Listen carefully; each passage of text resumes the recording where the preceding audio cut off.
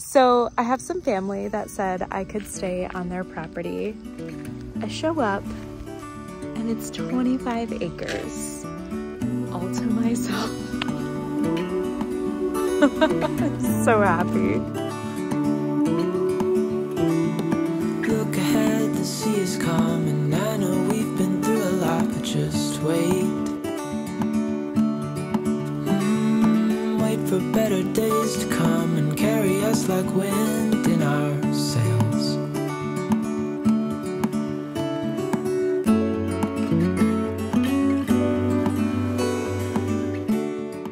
Hey guys, I'm Sarah.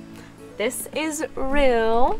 We live full time in my van, and I am also a healthcare traveler. If you've been following along for the last few months, you'll know that I have been taking some time off and traveling through the Northeast, but it is now time for me to take my next contract, and I'm actually very excited about it. I think van life looks different for everyone, and I recently got into remote work where I was moving around constantly and really only communicating with people through a screen. And honestly, it works for some people, but the way I started traveling was through healthcare, where I take three month contracts wherever I go and it really gives me a sense of belongingness and community and stability, even though I live full time on the road and travel. At least I get to stay put in an area for a few months and make great connections. And I'm really missing that. So I'm very, very excited to be entering the healthcare world once again. Uh, there's definitely cons about it as well, but I'm definitely looking forward to a little bit more stability in my life while still living in the van. Since I'm located in the Northeast now and I plan on heading down to Florida this winter, I figured I would take a contract here and then I get paid to experience the fall colors, which is really cool. I'm excited to experience all of the hiking and climbing that this area has to offer. I have traveled through quite a bit of states in the Northeast, all of them except for New Hampshire and Maine. I plan on making it to those during my contract. Since I'm only working three days a week, I'll have four days off and that way I can go explore. I would say my favorite area that I've traveled to in the Northeast so far is the Adirondack Mountains. So when I saw a job pop up in that area of New York, I immediately hopped on it. And I'm not gonna lie, there were other applicants and the job closed. And ultimately, I applied for this job about three times until I got it and I got it. so it feels kind of like it was meant to be and if not that's the beauty of healthcare travel is it's only 3 months and then I get to move on. Connecticut would have been my next runner up when looking for a job in the Northeast, mainly because I have a lot of family here, which would have provided a great support system for Rue. If you watched my last video that was all about the struggles that I am currently facing with van life, my dog having severe separation anxiety is one of them. Um, in that video, I talked about everything that I had done to help her with her separation anxiety at that point. But you guys were amazing. I was so overwhelmed with the amount of support I received from you guys in the comments, and I thank you so much for all of your recommendations. So, we have taken more steps to combat her separation anxiety. One of them is I had my dear friend Billy at Drifter Vans make a bed platform for her in the front. So now when I'm driving, she can lay down instead of having to sit in a seat while the passenger seat is swiveled around to face the back of the van. And then he created a lock on the divider door that slides closed. So now we have separated the driving space from the van living space. And when I'm driving, she doesn't have to see everything rattling and shaking in the van, which could have created some of her anxiety. She is also on anti anxiety medication, which is helping not only in the van, but in social situations in general. Um, she has always been unpredictable when it comes to interacting with other dogs, but now she is so much more friendly to both dogs and humans, and just her anxiety has gone down by so much. And as judgmental as some people were about putting my dog on medication, I ultimately think it is a tool that both humans and pets can utilize to help combat anxiety. It really is helping a lot, but I don't plan on leaving Rue in the van while I'm working. I have already contacted multiple sitters and daycares that are interested in watching her for me while I'm at work so basically, I'm going to arrive to the area that I will be working one week early so I can meet all of the different sitters and pick the one that is the best fit for her. I also have been looking into different personal properties to stay on in my van, and some of them have also offered to watch Rue for me, which is an amazing perk and would be the ideal situation. So I am going to scope everything out once I get there and make a decision from there.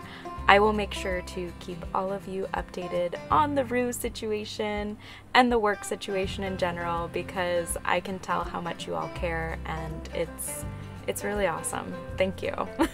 Another place I've traveled to in the Northeast that would have been a solid choice for work is Vermont, specifically Burlington. I spent a lot of time with my dear friend there, who I actually met at a climbing gym in California. So it's really cool that now we are on the opposite side of the country together and that is what I love about having friends who travel. We meet up all over the country and it just feels serendipitous. She was actually in my Yosemite video from like a year ago when I was camping there in my Airstream. She helped me get a reservation. She actually lived there and worked there for a bit. And now she is going to school in Vermont. That state is seriously beautiful and has so many great hikes and climbs and I even spent time in a little town called Stowe. If you haven't been, you should absolutely check it out. I actually went for the 4th of July, and instead of going to the big event for the fireworks, I found a little trail that was completely private that led up to the backside of where the event was for the fireworks. And I got a completely private view with no one else around right over the water. It was a magical, magical moment, and it just reminded me why I am doing what I'm doing because I can literally drive anywhere, find somewhere to park, and enjoy events like this without worrying about getting an Airbnb or a hotel. And I have my cozy home on the road with me. Even though I didn't end up getting a job in Vermont, I will still be very close to my friend to visit her, and I get to take the ferry, which was so adorable compared to the ones that I used to take in Washington State. They're little baby ferries and they're adorable and I love the experience so much going over Lake Champlain. I also spent a bit of time in Rhode Island and Massachusetts, specifically Cape Cod, and as beautiful as they were, it was all coastal, and I do enjoy coastal areas, but for work, I preferred to be closer to the mountains where there is better hiking, and I feel like I would have been too secluded on Cape Cod.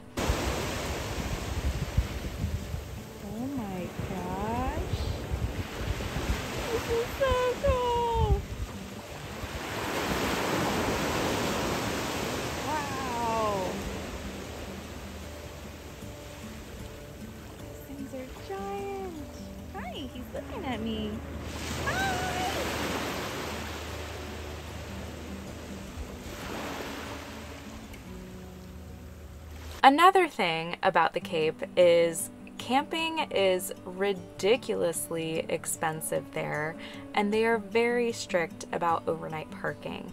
So, the only place I could find to stay without searching too much was a Harvest Host.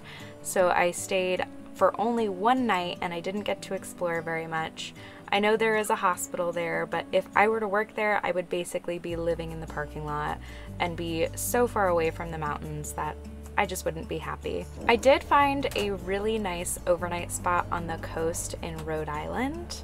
This is where we slept last night. It's mighty, mighty beautiful. It's perfect outside. Ruru, hey, come say hi. Come say hi. Oh, hi. We're happy today. I found this spot on iOverlander and it was very van friendly, which surprised me. I haven't found many spots like this in the Northeast. I even met a new friend there who built out his own van and we got to meet up at the show in Topsfield this last weekend. The Adventure Van Expo was seriously so fun. I got to make so many new friends. I got to meet builders from all over the country and I got chosen to be a judge in the DIY competition. So I got personalized tours of everyone's vans that they built themselves, and there was just so much thought that went into these builds. I was thoroughly impressed. I also got to meet a ton of people that knew me through YouTube. It was so great meeting you all and actually having in-person conversations. It felt very special.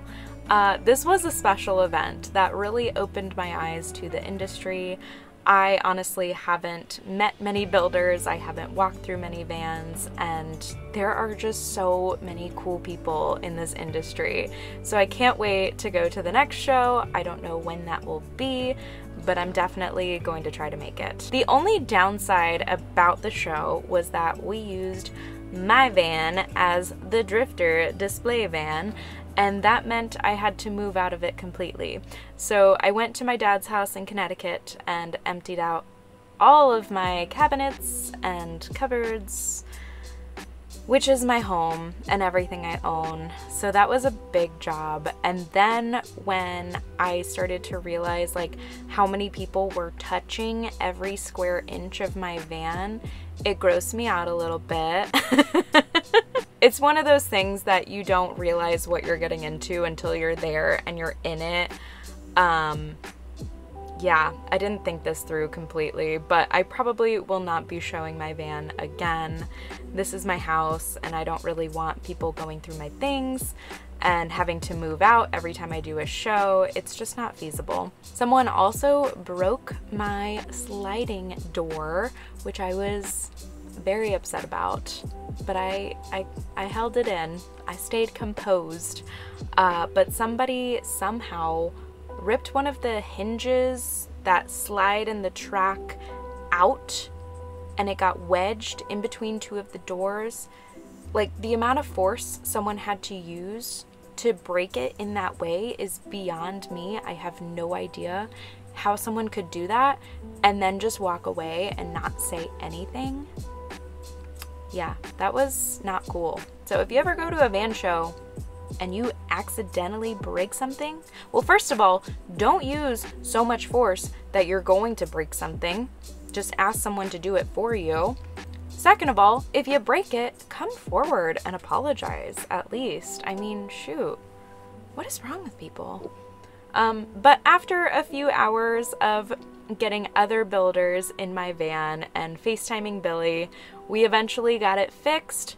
Thank goodness, because I would not have been a happy camper if I walked away with a broken door.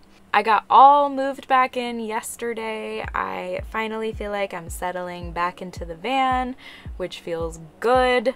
I am ready to start working. I'll be heading to New York late next week and just scoping out all of the different properties that I can stay on, meeting all of the sitters for Rue, and just getting my bearings and getting ready to stay put somewhere for three months. Woo! It is a little weird with how much I have been moving around recently to think about staying in the same place for three months but I think it is exactly what I need in my life. I think it's what Rue needs in her life, and I'm excited to work my first contract while living in the van. I'm sure you all are very curious as to what that is going to look like.